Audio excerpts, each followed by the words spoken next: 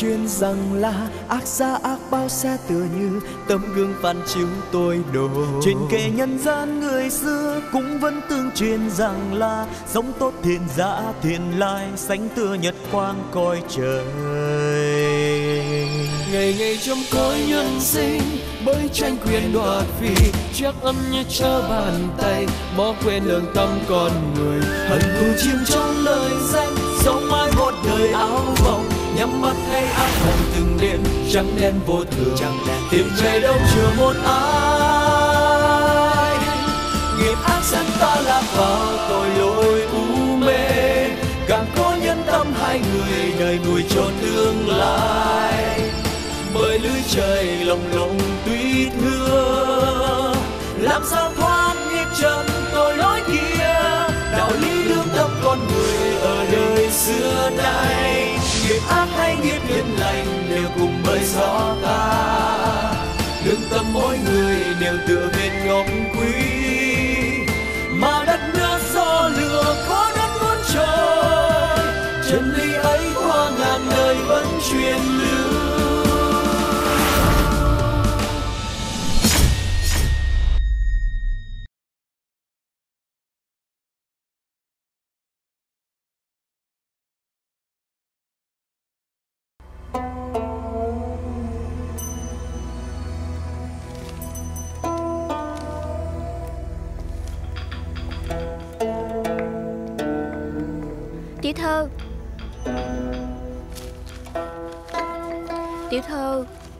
Lại nhớ đến Điền công tử sao? Tiểu thơ Tiểu thơ cho em nói thiệt một câu nha. Em muốn nói cái gì? Tiểu thơ à Em thấy Ngày đêm tơ tưởng Nhớ thương về huynh ấy á Đến nỗi thân thể hao gầy gì nè Mà không biết là huynh ấy có nhớ về tiểu thơ hay không. Không khéo á Tiểu thơ vì một người mà. Em nói giọng điệu y như cha ta vậy. Ừ, Ta còn chưa hỏi tội của em. Đã bếp xếp chuyện của ta. Ở đó mà nhiều chuyện. Tiểu thơ Lão gia cũng vì thương tiểu thơ mới làm như vậy. Lão gia bỏ hết công việc Sang tận làng mộc để tìm Điền huynh. Chẳng phải là vì lo lắng cho tiểu thơ hay sao?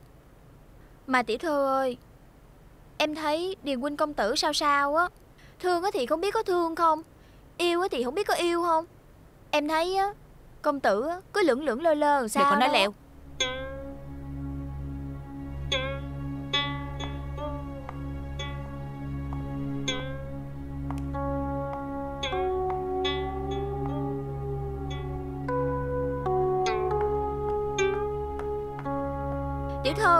Bây giờ tiểu thơ có rầy em á Thì em cũng nói. Thiệt tình là em không biết Điền huynh nghĩ gì Hay là Điền huynh có nỗi khổ gì Mà không dám nói. Ta không rõ Nhưng ta không thể nhầm lẫn được. Ánh mắt của huynh ấy khi nhìn ta Chứa chan tình cảm của huynh ấy dành cho ta. Như vậy á Một á là tình cảm của huynh ấy chưa đủ mạnh để thốt nên lời. Hai á là huynh ấy là người không quyết đoán Ngay cả nói thiệt lòng với người mình yêu á Cũng không dám. Thì đúng là dở ẹt. Em không phải là huynh ấy. Sao biết huynh ấy đang nghĩ gì? Thì tiểu thơ đã nói rõ là lão gia Không cho tiểu thơ quay lại trường Còn ép uổng. Tiểu thơ lấy chồng Mà có thấy cậu ấy nói gì đâu? Không lẽ cậu ấy không sợ mất tiểu thơ sao? Thôi ta không muốn nghe em nói nữa Em đi ra ngoài đi. Dạ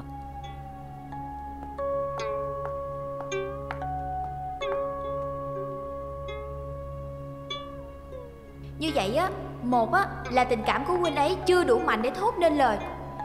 Hai á, là huynh ấy là người không quyết đoán. Ngay cả nói thiệt lòng với người mình yêu á, Cũng không dám, Thì đúng là dở ẹt. Không lẽ cậu ấy không sợ mất tiểu thơ sao?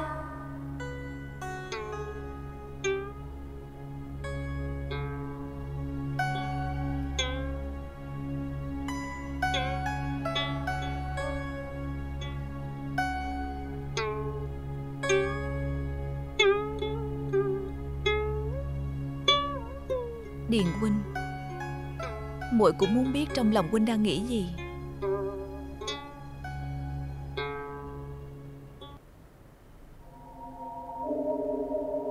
Rốt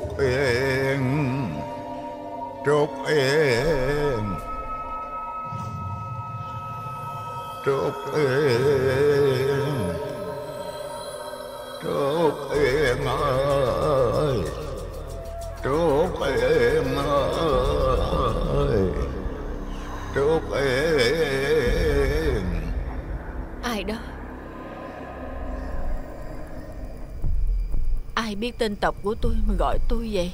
Và không nhận ra tiếng của tôi sao Là mình sao? Là ông đó sao? Ông đang ở đâu? Tôi về thăm mình đây. Mình ơi. Mình về đây để trách móc em đúng không mình có tội lớn lắm. Em không chăm sóc con chu đáo. Con nó bỏ em đi rồi mình ơi. Mình không có tội gì hết. Đó là do số mệnh của thằng Út mà. Tôi ở dưới âm cảnh lạnh lẽo cô đơn. Mới rủ nó xuống cho có người bầu bạn. Thằng Út đi rồi. Em không tiếc sống nữa mình ơi. Ai cũng ức hiếp em hết.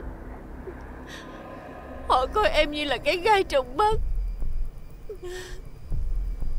Vậy thì mình còn liên tiếc căn nhà này làm gì nữa? Hãy đi với tôi và thằng Út đi Cha con tôi giờ rất vui vẻ bên nhau. Con nó nhớ mình lắm. Đi với con với tôi đi mình. Mình nói đúng. Mình ơi. Mình với con chờ em nha. Em sẽ xuống với mình. Em sẽ xuống với con đây.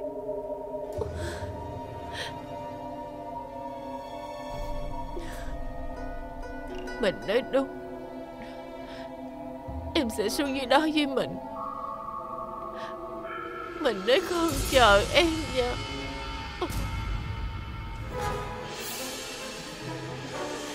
Em sẽ xuống với mình.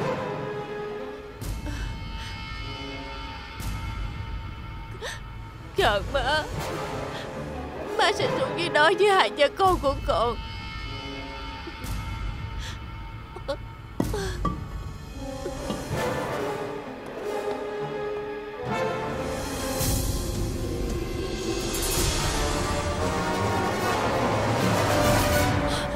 Trời Phật ơi Em Năm ơi Chị hai ơi Chị ba ơi.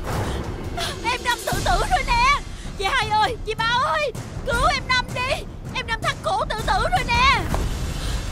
Chị hai chị ba ơi Cứu với. Em Năm ơi Em sao vậy nè? Mọi người ơi. Trời ơi bà Tư ơi có chuyện gì vậy bà Trời Tư? ơi. Hả? Có chuyện gì vậy? Chị à Em Năm vì buồn nên nghỉ quẩn Đã treo cổ quyên sinh. Trời đất quỷ thần ơi sao ra nông nổi này? Hả? Chú ba Chú ba coi nó còn sống không? Nó còn thở không? Dạ dạ dạ. Thôi thôi được rồi. Em đã kiểm tra rồi. Em Năm vẫn còn thở Nhưng coi mồi yếu lắm. Mô Phật. Cái gì vậy? Cái gì mà ồn ào giữa đêm khuya vậy? Em tình cờ qua thăm em Năm. Vừa bước vô á, thì em thấy em Năm đã treo cổ quyên sinh. Cũng may á, là em phát hiện kịp Em tri hô lên. Mô Phật Vậy là em Năm thoát nạn rồi hả? Em Năm ơi là em Năm Có chuyện chi mà uất ức? Thì em cứ giải bài với mấy chị ở đây. Cớ sao mà em tự tử như vậy? Cũng may Cũng may là có mấy chị ở đây có mặt kịp thời. Chứ không thôi bây giờ Mấy chị đã đưa tiễn em đi rồi.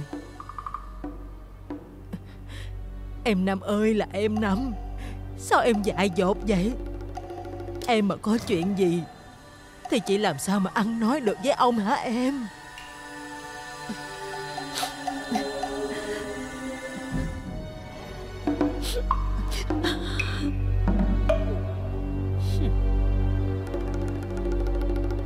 Tuy là trong nhà mình đang có chuyện buồn nhưng theo lệ Cả nhà cũng phải họp mặt đầy đủ Đặng xử lý chuyện gia đình. Nhưng mà việc này á Có căn dự tới em Năm. Đợi cổ khỏe đi rồi mình hỏi ý cổ coi làm sao. Em Năm vẫn còn nằm liệt giường Không gượng dậy nổi chị ba. À. Thấy tình cảnh của cổ Mà chị thương hết sức. Có một thằng con trai Coi như vàng như ngọc. Vậy mà nó đột ngột ra đi. Hỏi ai mà chịu cho thấu.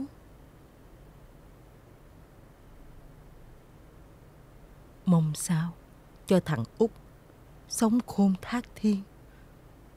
Phù hộ cho em Năm được mạnh giỏi. Thằng út dẫu sao cũng mồ yên mã đẹp rồi. Nếu mà mình cứ tiếc thương, Nhắc tới nó hoài E là nó sẽ dấn dương, Khó mà siêu thoát được đó.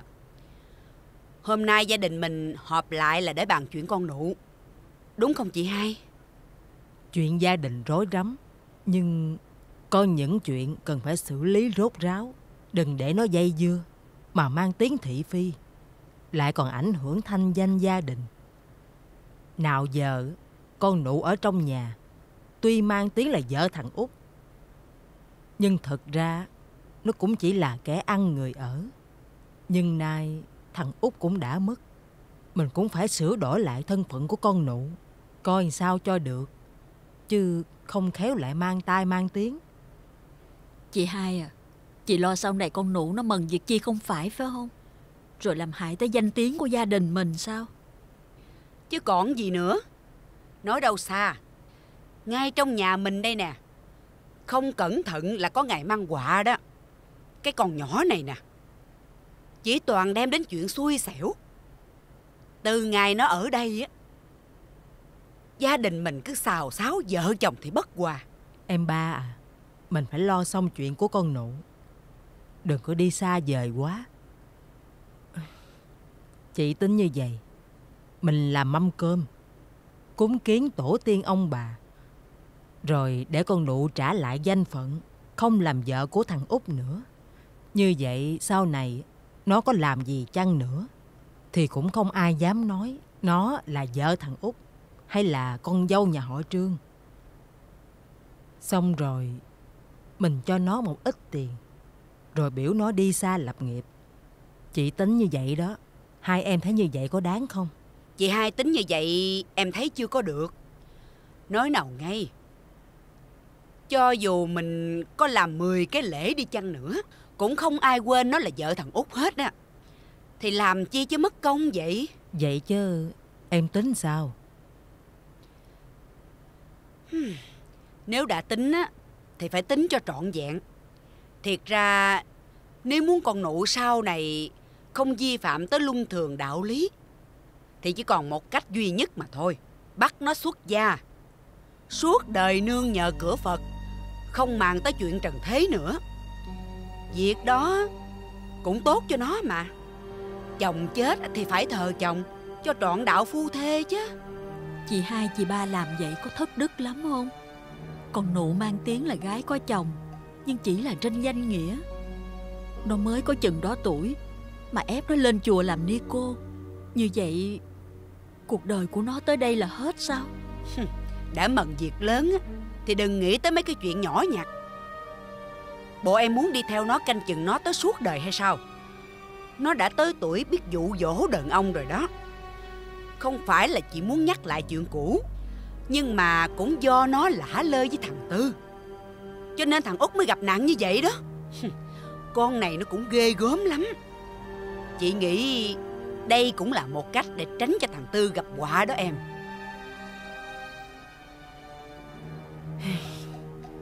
Cách mà em ba nói Tuy có chút nhẫn tâm, Nhưng nếu mình mừng như vậy Thì sẽ không còn lo danh tiếng gia đình của mình nữa. Có điều chỉ sợ thiên hạ bàn tán, Cho là gia đình của mình tán tận lương tâm. Cớ gì chị lại sợ mang tiếng thiên hạ? Nó là đầy tớ của mình mà. Thì sống hay chết Là do mình định đoạt, Đúng không nè?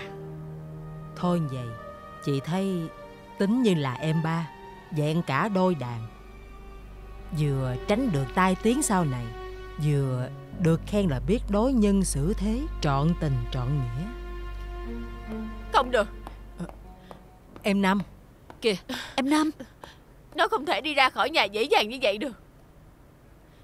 Chị hai à Chị không có được Cho con nụ đi ra khỏi nhà nửa bước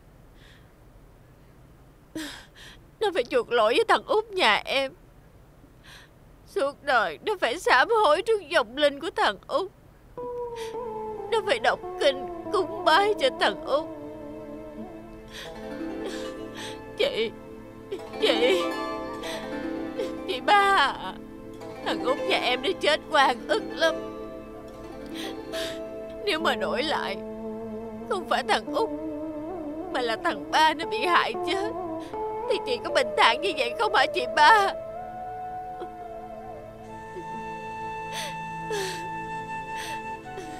Chị Tư, Chị nhân từ lắm mà. Chị độ lượng lắm mà. Chị Tư, Nếu như nó là người gây ra tai nạn cho con chị đó, Chị tính sao hả chị Tư? Tại sao vậy? Tại sao mọi người lại im lặng như vậy? Tại sao không ai hiểu cho tôi hết vậy? Tôi đang đau lắm biết không? Đau như ai cắt từng đoạn ruột. Con tôi nó đã bỏ tôi đi rồi. Vậy mà cái người hại con tôi, Nó còn sợ sờ ra đó. Bây giờ không ai giúp tôi trả hận hay sao? Trời ơi Em mà Từ từ đi em. Mấy chị ờ, cũng đang ngồi đây bàn bạc chuyện của em đây nè. Chứ đã quyết định gì đâu.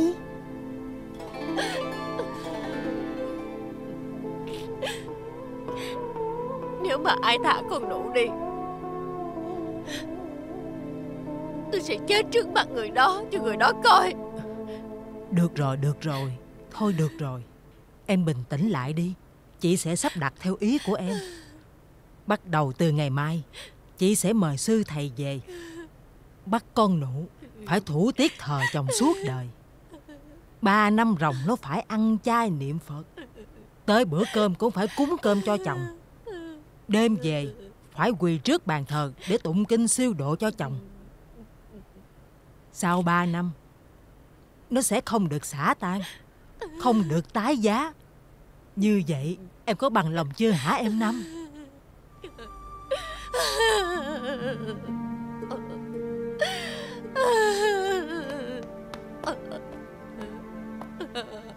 Út ơi là Út. Ba cũng vì con Mà bắt nó phải chuộc tội. Giống hồn của con về đây. Chứng giám cho ba nhà con. Út ơi là Út Con chết hoang quá mà Út Út ơi. Con tên Nụ. Năm nay 20 tuổi. Đã kết duyên cùng cậu út Trương Bảo Điền. Nay, chồng con không may giáng số, Đoạn mệnh, Đã lìa trần. Chiếu theo luật lệ Gia phong, Con xin được Thủ tiết Thờ chồng suốt đời. Ừ, thủ tiết Thờ chồng. Nghĩa là sao hả thầy? Mày còn không biết đó là gì hả? Tức là mày phải suốt đời thờ cúng con tao, Không được dòm ngó đến thằng đàn ông nào khác. Không mau đọc tiếp đi. Đọc nhanh lên. Em Năm Em Năm Mày đọc. Con nguyện từ đây Sẽ ăn chay niệm Phật. Cầu nguyện cho chồng con mau được siêu thoát. Ba năm ròng Ngày con cúng cơm Đêm quỳ đọc kinh. Đời này kiếp này Không được xả tan chồng. Mau đọc lên. Mau đọc lên. Em Năm Bình tĩnh đi em Mày còn không mau đọc hả? Em Năm, Năm à, mà Em Mày bình có tĩnh đọc lại không đi Mày đọc đi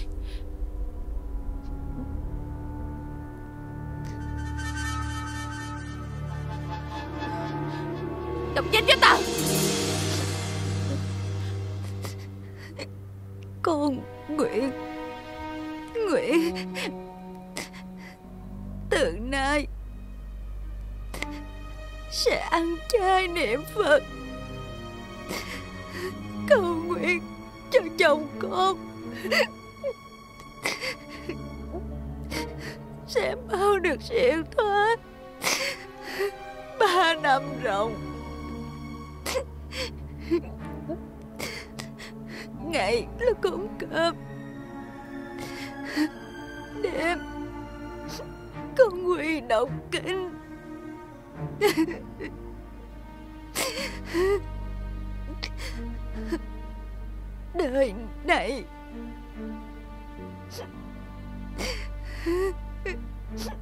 Kiếp này.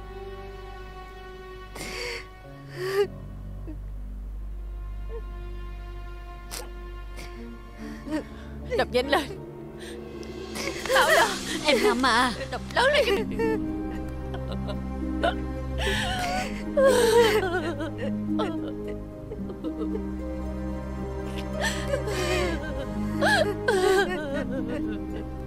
ơi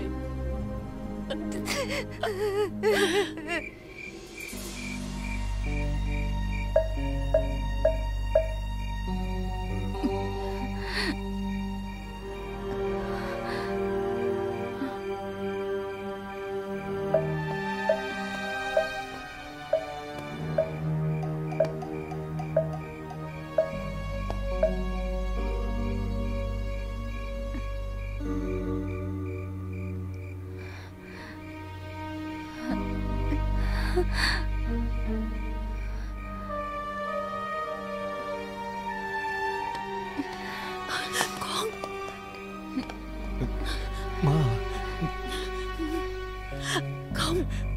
Con nội không chịu nổi đâu má Phúc Điền Má à Đi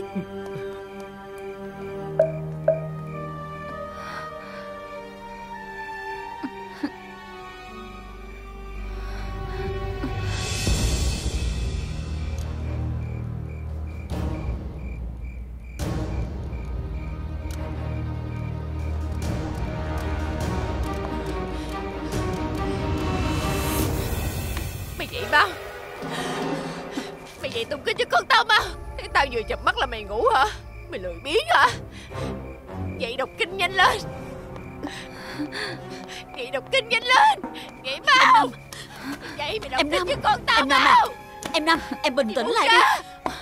Em Năm Em nhìn kỹ lại đi. Hình như nó xỉu rồi. Không phải nó ngủ đâu. Em làm vậy nó chết đó em à. Nó chết kệ nó. Nó chết mấy kia Em cũng không hả dạ nữa. Thôi mà em. Năm Nhài ơi Nhài Buông Nhài ra ơi. Chị Lẹ lên. ra. Dạ thưa bà. Mau. Buông ra. Mày mau đỡ nó ra phía sau chòi. Sức dầu cạo gió cho nó.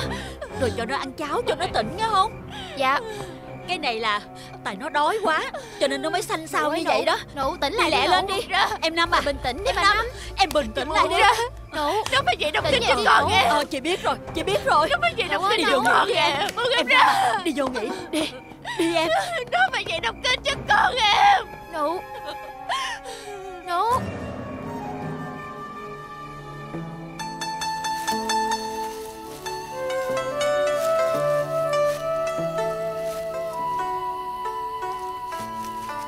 Mày đúng là số khổ mà. Thôi, chờ tao chút xíu. Tao đi nấu cho mày miếng cháo. Ăn cho tỉnh nha.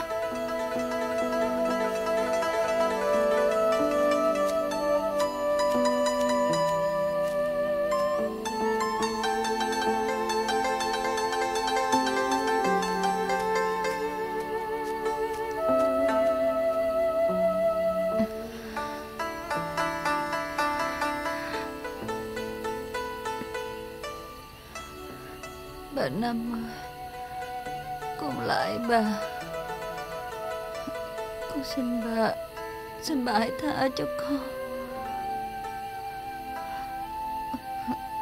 Con không chịu nổi nữa đâu. Con không có làm biến làm nhát đâu. Bà ơi, Con hết chịu nổi rồi. Con xin bà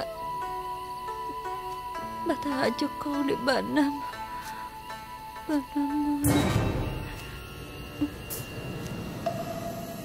Bà Năm ơi.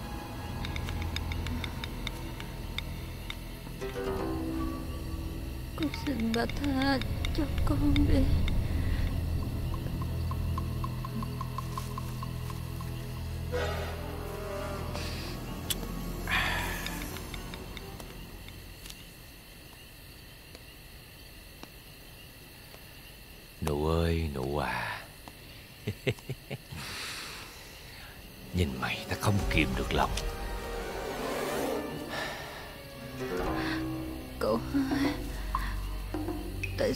Cậu. Nhài đâu? Con nhài nó đi nấu cháo cho mày rồi. Mày lạnh lắm đúng không? Để tao ôm cho mày ấm nhẹ Nụ ơi Cậu hai Cậu buông tôi ra đi. Buông tôi ra. Buông ra Tôi xin cậu mà. Nè Mày làm cái gì mà mày sợ cậu dữ vậy? Tôi xin Cậu cậu. có hại gì mày đâu Cậu thương mày lắm. Cậu sợ mày bị kiệt sức Vì bà Năm hành hạ mày. Nên cậu có mang cho mày miếng xăm nè.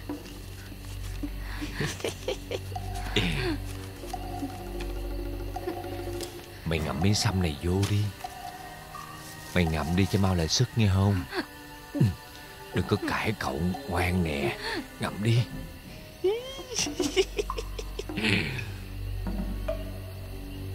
Nụ nè Xăm này tốt lắm. Ngậm một chút thôi Là lại sức hả? Nụ nè Cậu lo cho mày như vậy Thì mày phải trả ơn cho cậu chứ. Ngoan nha nụ Cậu thương mày lắm nụ ơi. Tôi xin cậu Cậu tha cho tôi đi. Cậu hai Bởi giờ Cậu đang gặp dần xui. Mà nghe nói Lấy được trinh tiết của con gái Thì sẽ hóa giải được hết giận xui. Mày đừng có sợ. Cậu thương mày lâu lắm rồi. Xin cậu Cậu đi nụ ơi. đi. Nè Mày còn sức chống cự nổi sao? Ngoan đi. Cậu chỉ cần xả xui thôi Rồi sau này cậu sẽ không làm phiền tới mày nữa đâu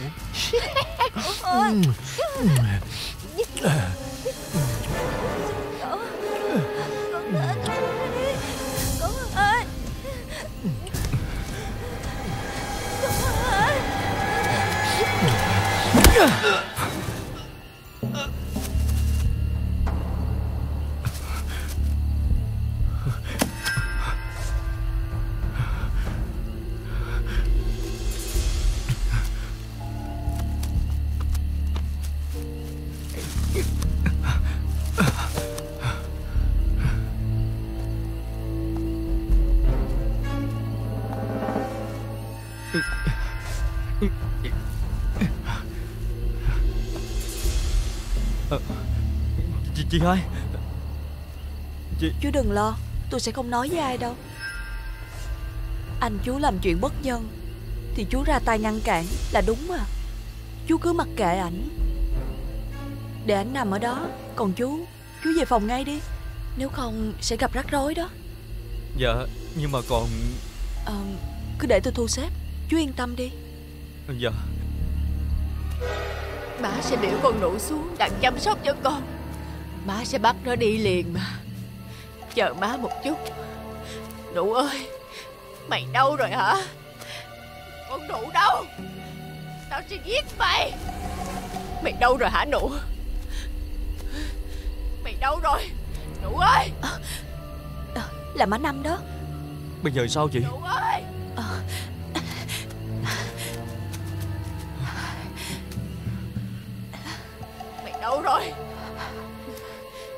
Tao sẽ giết mày. Nụ ơi, Thằng Út Nó kêu tao Đưa mày xuống dưới đó để bầu bạn với nó. Thằng Út nó kêu tao Là muốn gặp mày, Phải đưa mày xuống dưới để gặp nó. Để cho nó có bầu, có bạn. Nó thích mày lắm, nụ ơi. Nụ ơi, nụ, Mày gặp thằng Út, Mày nhớ chăm sóc nó chu đáo Giống như trên này nha, nụ. Tao Sẽ gửi giấy tiền vàng bạc xuống cho mày Để mày lo cho thằng Út. Mày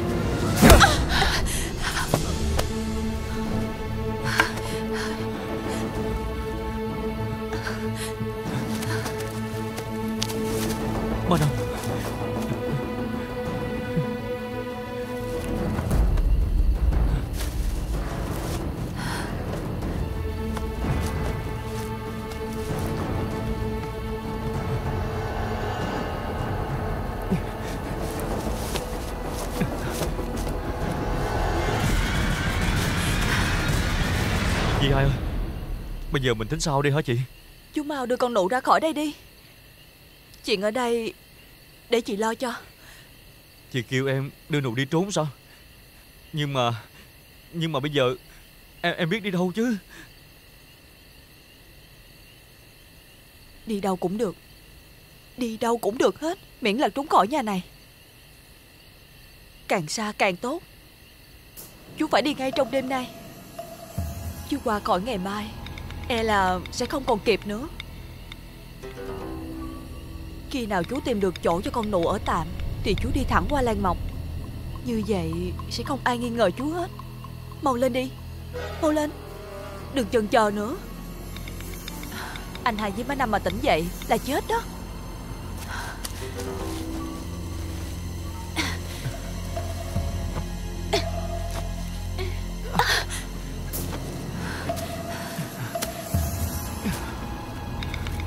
đi nha chị hai.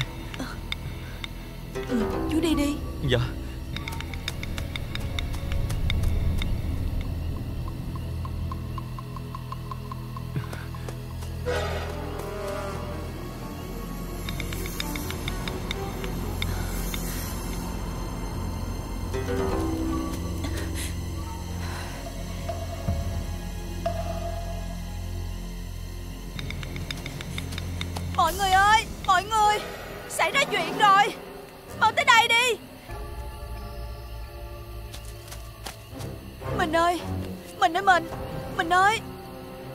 chuyện gì mà mình nằm bất động ở đây vậy hả? Mình ơi! Má Năm! Má Năm ơi! Má Năm! Có chuyện có gì vậy? sao Có má chuyện Năm? gì vậy? Má Năm! Chuyện gì? Tôi Cậu cũng hai không biết nữa. Cậu hai Tôi vừa tới đây Thì tôi thấy má Năm và chồng tôi đã như vậy rồi. Cậu hai ơi! Cậu bị sao vậy cậu hai? Má Năm! Cậu hai ơi! Cậu hai! Cậu hai ơi! Con này cậu hai Cậu hai tỉnh lại cậu hai ơi. Cậu sao vậy nè? Năm Cậu hai. Cậu. Cậu. Sao Sao cái cổ tao đau vậy? Mình Mình có sao không? À, Sao cái cổ tôi đau quá vậy nè? Sao cậu hai lại ở dưới này? Có chuyện gì vậy cậu hai? Còn bà Năm nữa Sao cũng ở dưới đây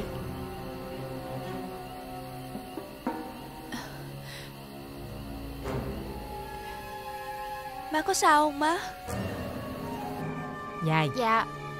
Mày đưa con nụ xuống chòi. Rồi sao nữa? Dạ Con vào bếp nấu cho nó miếng cháo Ăn cho lại sức à. Còn thằng hai Cớ chi? Tại sao lại ngất xỉu ở trong chòi? Ờ Con cũng đâu có biết đâu. Con đang đi ra ngoài vườn dạo mát Thì tự nhiên có ai đó đánh sao gái con Rồi làm con bất tỉnh luôn. Chồng con nói phải đó má Con thấy ảnh ra giường lâu quá Không vô ngủ Cho nên con mới ra dòm thử. Ai về đâu Tới ngang chòi Thì thấy chồng con và má Năm Nằm bất tỉnh ở đó.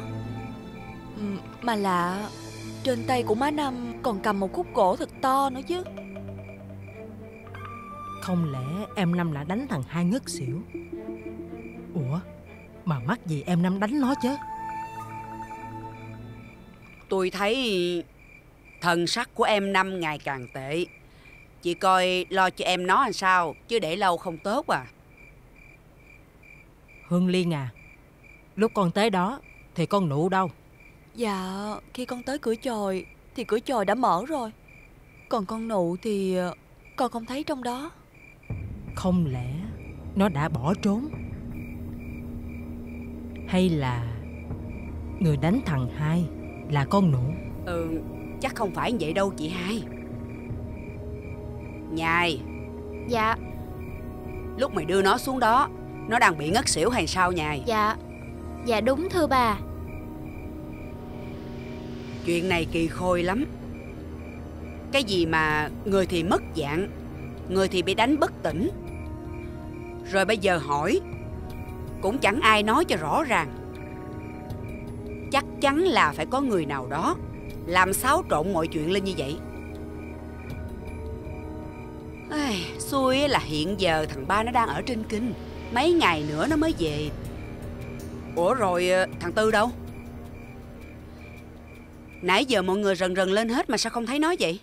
Ờ Ờ À Má Tư. Chiều nay Chú Tư đã đi qua làng mộc rồi. Ừ, má quên rồi hả? Ủa?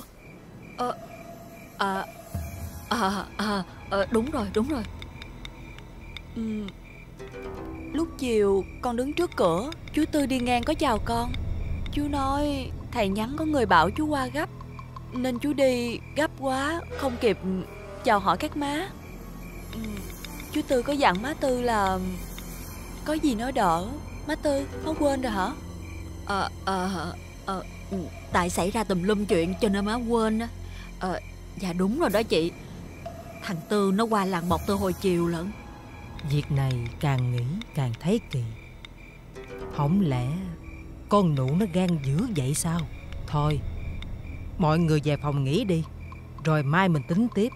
Nhưng mà rủi con nụ nó trốn ra ngoài Rồi ăn nói bậy bạ Làm bỉ mặt gia đình mình thì sao? Chứ không lẽ Giờ này kêu người đi báo quan Rồi phải ngồi thức cả đêm Đợi người ta đi truy lùng hay sao Đợi cho đến khi nào bắt được nó mới thôi hả? Ờ Dù gì Cũng phải đợi thằng ba về rồi mới tính. Ờ, Mấy chuyện lớn như vậy Cứ để cho nó toàn quyền quyết định đi chị. Ừ Thôi đi ngủ đi. Dạ.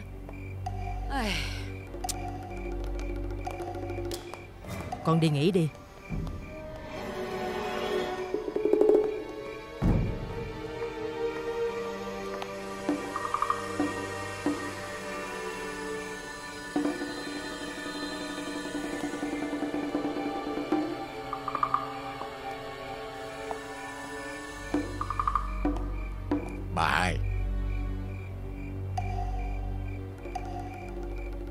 Việc này, Ai đó đứng đằng sau, Ném đá giấu tay.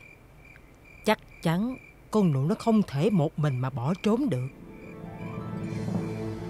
Là bà ba Hay là bà Tư?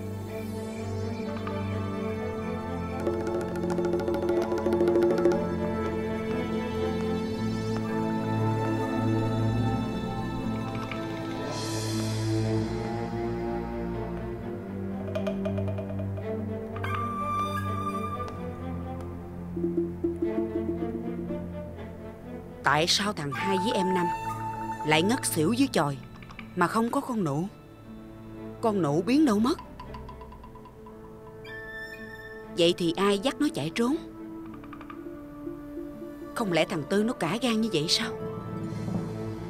Nhưng con Hương Liên nói thằng Tư, Nó quay về làng một rồi mà.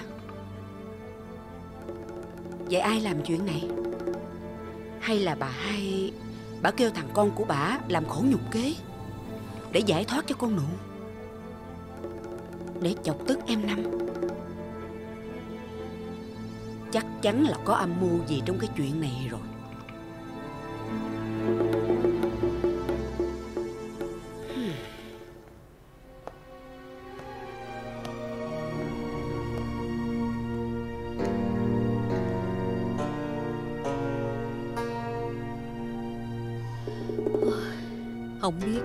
Xảy ra đêm nay. Có liên quan gì tới con trai mình hay không? Tại sao tự nhiên con nổ biến mất? Thì nó cũng mất tích luôn. Còn con Hương Liên nữa. Có dính líu gì trong vụ này Mà nó lại nói đỡ cho thằng Tư? Lại trời lại Phật cho thằng Tư. Nó đừng có dính vô vụ này.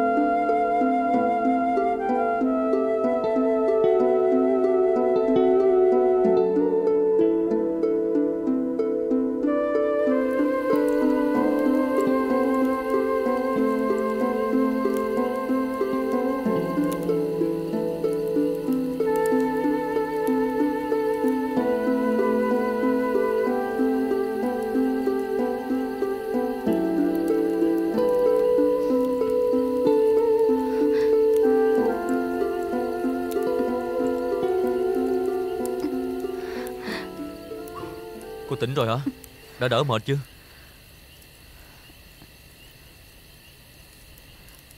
Cậu đưa tôi đi đâu vậy? Mình đang ở đâu đây? Tôi cũng không biết nữa. Sau khi rời khỏi nhà Tôi cứ cắm đầu chạy miết. Cho tới khi thấy cái chòi bỏ hoang giữa rừng Thì tôi mới ghé vô. Cũng may á, là có vài củ khoai Cho nên tôi nướng cho cô ăn đỡ đói nè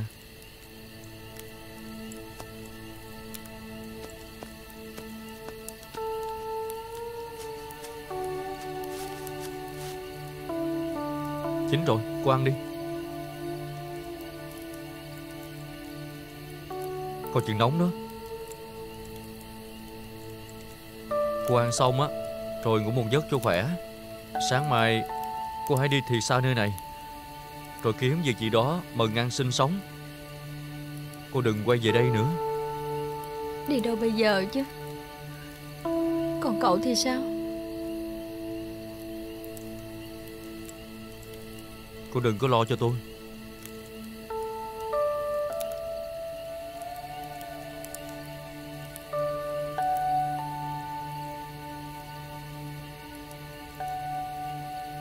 Ở đây có chút tiền, Cô đem theo mà hộ thân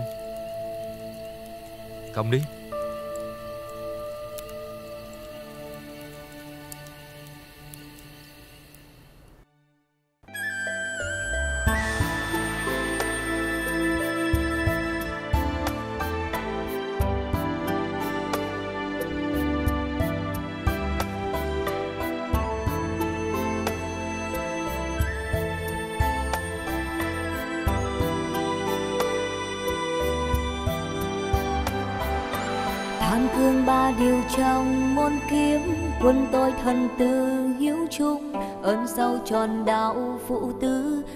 Năm lòng son nghĩa một đời. Phù sướng phù tùy.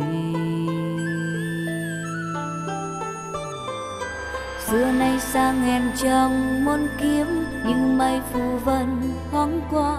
Nhưng sinh lệ nghĩa chi tín cho nên vội quên lẽ ngũ thường. Chuyện nay tính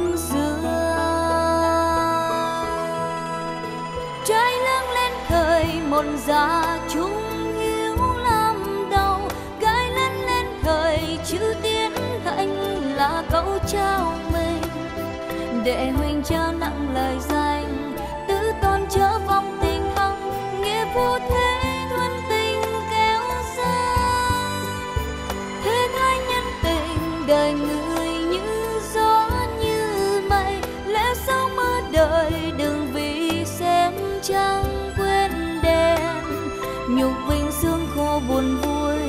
bởi do đứng